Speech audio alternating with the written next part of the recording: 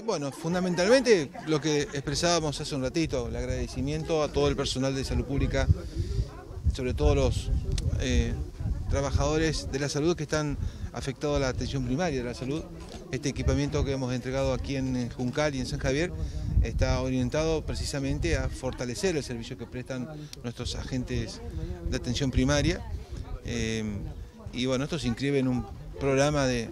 de fortalecimiento todo el sector de la salud pública eh, ustedes saben que este año vamos a estar incorporando equipamiento, mm, una inversión de 90 millones de pesos aproximadamente en equipamiento para todos nuestros hospitales.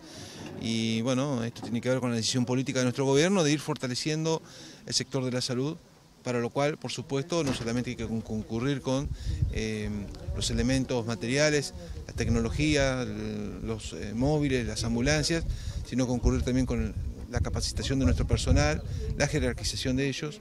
el reconocimiento también de los derechos de nuestros trabajadores de la salud. Hace muy poco hemos podido sancionar una ley que genera un régimen eh, especial para los trabajadores que están afectados a eh, el trabajo de las ambulancias, a los choferes de ambulancias,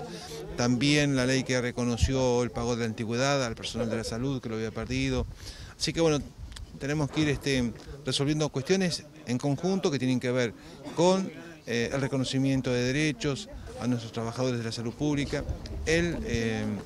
la capacitación permanente del recurso humano y también el equipamiento. Y este es el año del equipamiento de este sector por la inversión que estamos haciendo, que como decía es del orden de los 90 millones de pesos, más la construcción de nuevos hospitales, como el que ya está en marcha en Catriel y en Allen, que son dos hospitales muy grandes que se están haciendo en la provincia, junto con otras obras como la ampliación del Hospital Sati en Viedma